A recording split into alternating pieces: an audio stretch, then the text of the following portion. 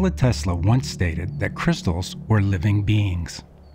It's a subject that fascinates me because I have experienced an interesting phenomena while studying their effects on plants. I was first introduced to the vibrational properties of quartz while attending a music convention in North Carolina. It's for experts in digital and analog musical instruments, but my reason for attending this event was to interview an expert that specializes in sound, light, and electromagnetic field frequency machines. I met with August Worley during Moog Fest to visit the factory that produces Moog musical instruments. August started his professional career as a keyboard technician for the popular musical group Emerson, Lake, and Palmer.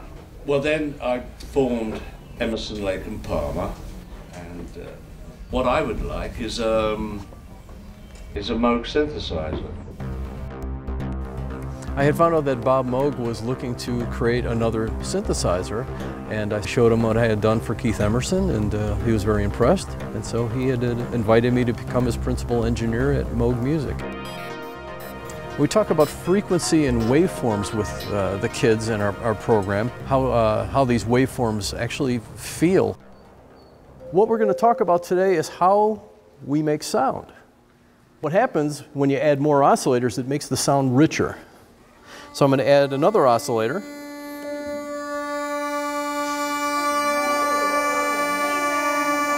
Sustain how long the sound will stay there, and then there's a little thing on here called release.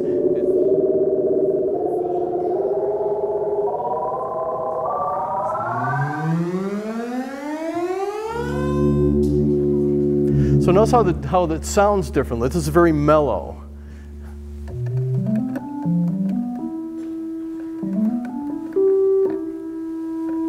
But then as we go to a sawtooth wave, it sounds a little brassier.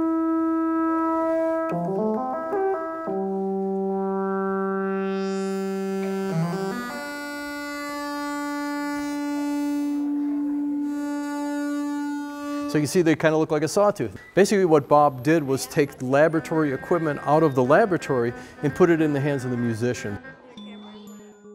Working at Moog as an engineer with Bob Moog, I approached Bob one day and said, hey, wouldn't it be cool if we could do like an electronic singing bowl?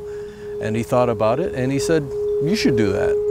And so that sort of gave me the uh, impetus and sort of planted the seed for me to, uh, to carry forth this idea of what would an electronic singing bowl look like that also incorporated uh, physical vibration and had light associated with it and also did an electromagnetic resonance.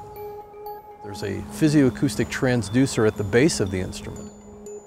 The Pyradym is a combined sound, light, physioacoustic, and electromagnetic resonance instrument. The crystals come into it because I wanted to have as broad a spectrum of resonant modalities in the instrument as possible.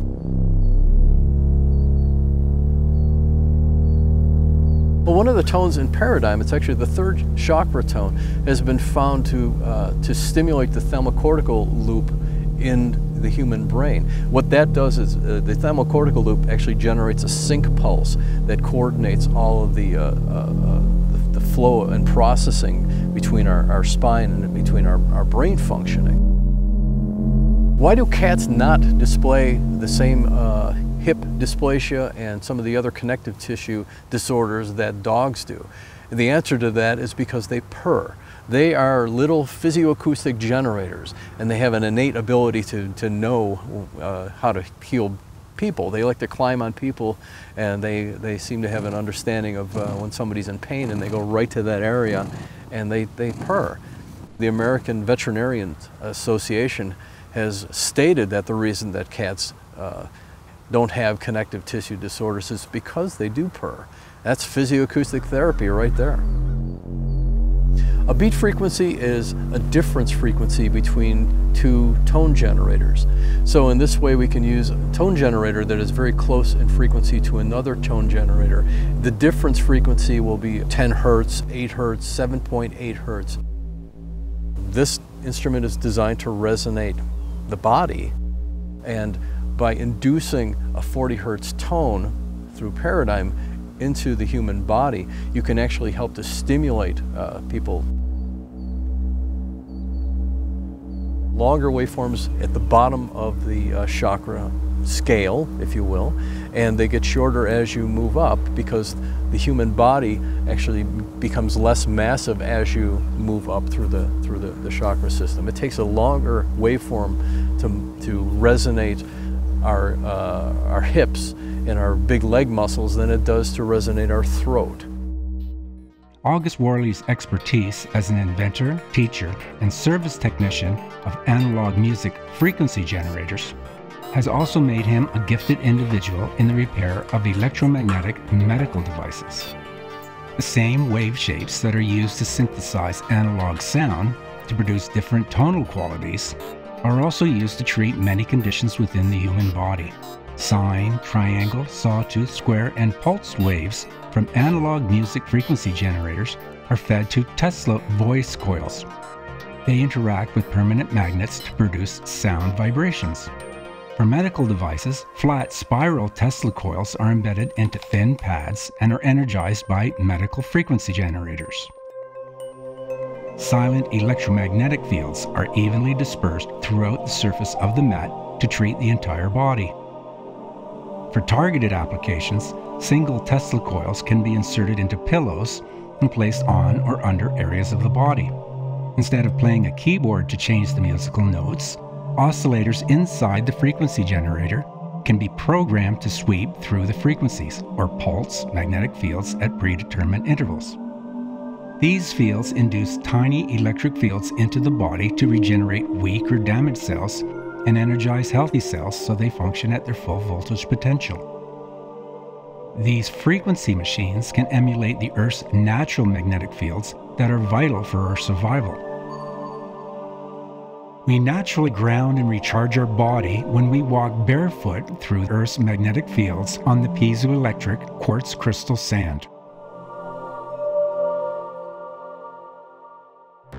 Paradigm vibrates the crystal capstone to activate its piezoelectric effect.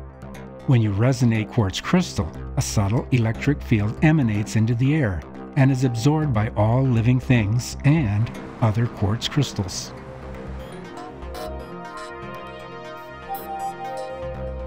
I decided to purchase a Pyradym and a quartz crystal singing bowl to study in our laboratory.